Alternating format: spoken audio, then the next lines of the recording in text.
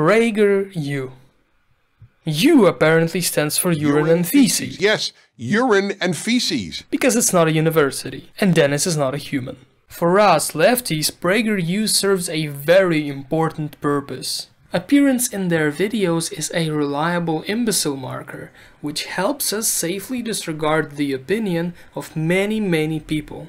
It is also great material for YouTube poops. It is my intent that by the time you leave this school, you will be among the few your age to distinguish between urine and feces. So, let's pay a visit to that mental asylum of a channel. One of the recent videos is called How the Left Sees the World Power, Race and Class. You probably won't believe this, cause it's bullshit, but I love it when people explain my own thoughts to me. Pinch your nose. Why does the left hate Israel? I don't know, why can't you stop beating your wife? I swear to god, there must be a better way to start a video than with a loaded question. On the surface, it doesn't make sense. Of course it doesn't make sense, because the left doesn't hate Israel. I am a leftist and I don't hate it. Actually, I kinda like Israel. I have a subscriber from there and he's a great supportive guy. In fact, only people who hate Israel hate Israel. Israel is a liberal democracy, it extends full rights to women, to gays, and to its many Arab citizens. Except it doesn't extend full rights to gays, you fucking liar. Same-sex marriage is not legal in Israel. As to the Arabs, while they do have same-ish rights on paper, they are treated similar to black people in America, which is hardly ideal. Like all countries which are made up of flawed human beings, Israel is flawed.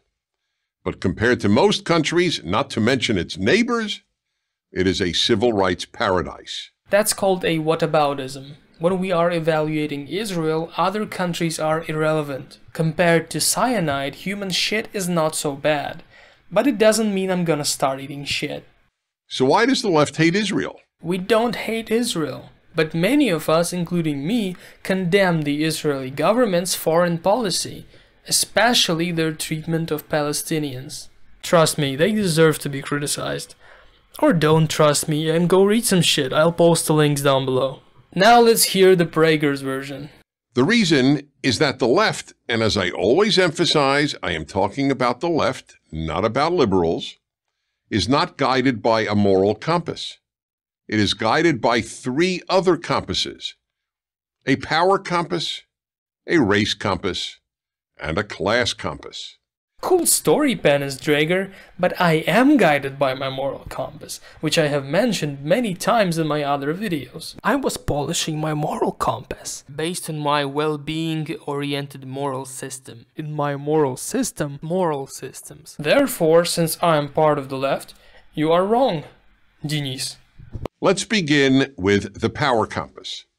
Instead of evaluating people and nations on the basis of right and wrong or good and evil, the left evaluates them on the basis of weak and strong. If you're weak, you're good. If you're strong, you're bad. Israel is strong, therefore it is bad. America is strong, therefore it is bad. The Palestinians are regarded as weak, therefore they're good. Look, this bullshit is so absurd I seriously doubt even one leftist thinks that way. One.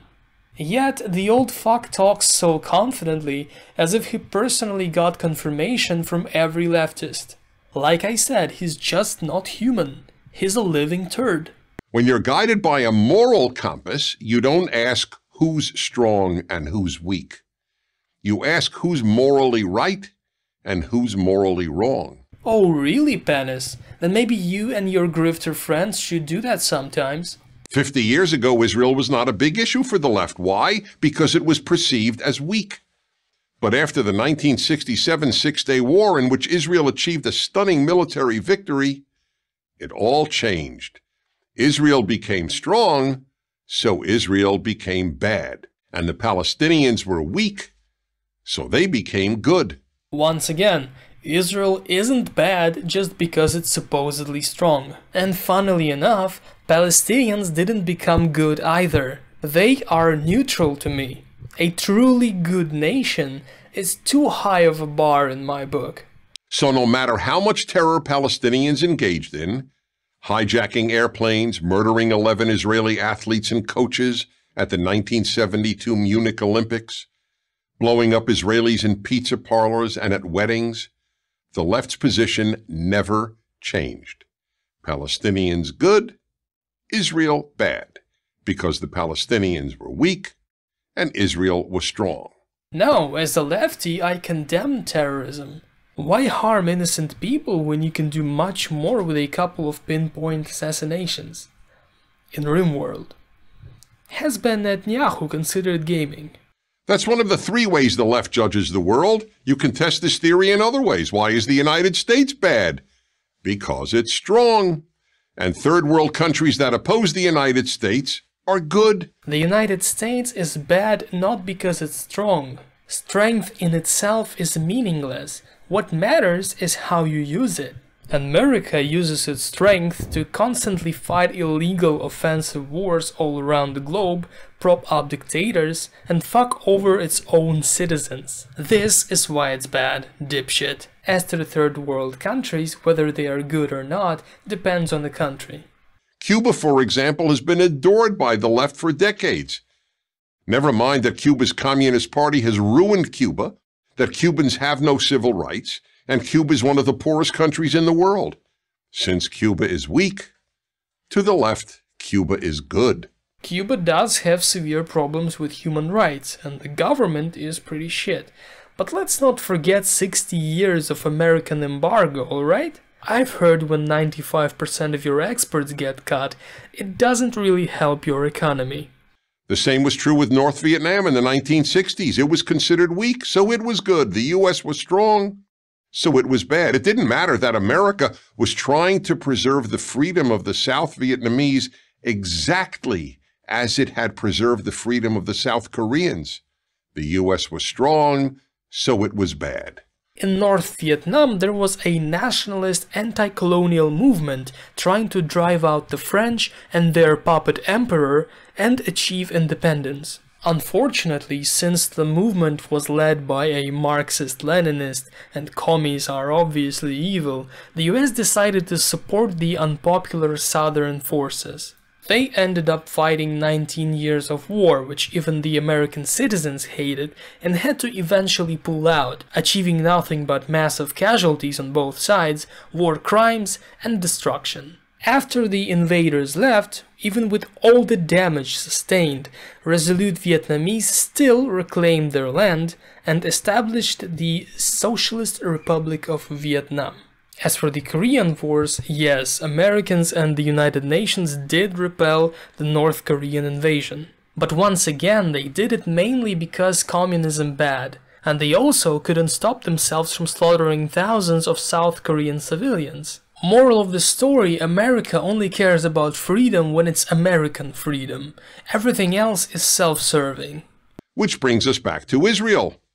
The stronger Israel gets as it effectively defends itself, as its economy grows, and as its diplomatic position improves, the more the left hates it. Uh, no. The second of the left's compasses, the race compass, is another reason the left hates Israel. Aha, so we're racist now. Go on, dickhead. Just as it substitutes weak and strong for good and evil, the left substitutes non-white and white for good and evil. The left doesn't judge people by their actions, but by their race. That's why, for example, the left asserts that a black person cannot be a racist. Only a white person can be a racist. Fun fact, Dennis Prager used to write books for children, but he didn't succeed because even kids could not believe his stupid fairy tales. So he moved on to producing shameless reactionary propaganda. Anyone can be racist, including black people. Jesse Lee Peterson is an amazing example of that. And that provides the second reason Israel is labeled evil. Israelis are considered white and Palestinians are not white. Never mind that more than half of Israel's population is not white. Also never mind that Prager is literally having a verbal diarrhea. The result? The left essentially ignores Palestinian terror and loudly condemns Israel's responses to terror. I'd like to see some sources for that. Oh wait, we're watching PragerU. It's bullshit o'clock.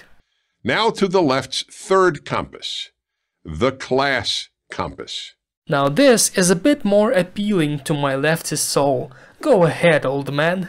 This is the third way in which the left replaces traditional Western and Judeo Christian categories of good and evil.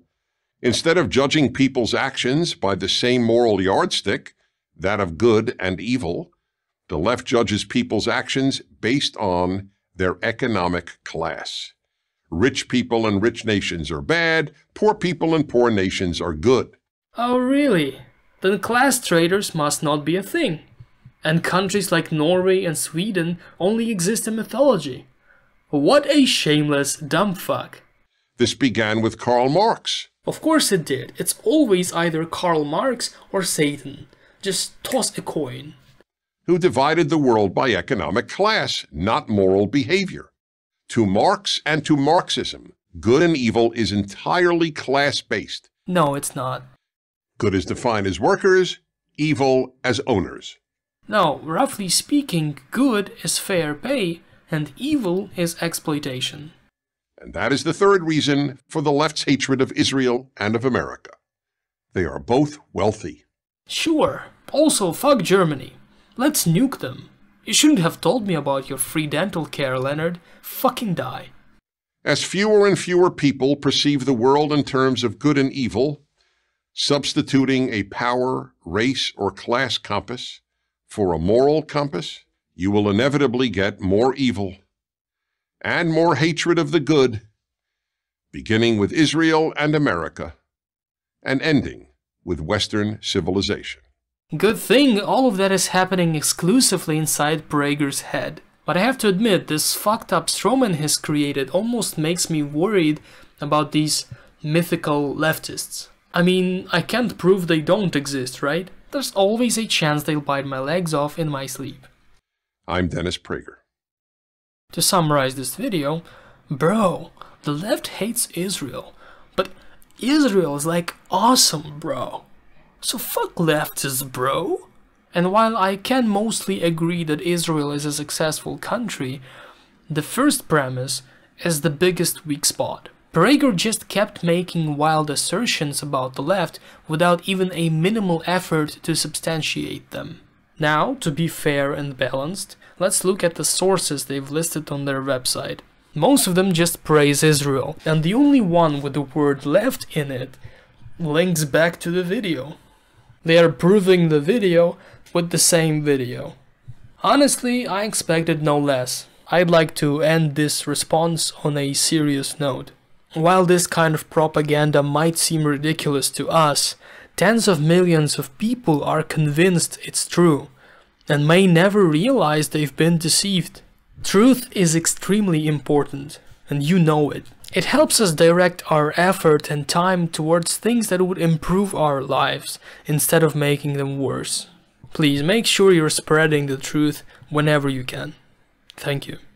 If you like my videos, consider subscribing.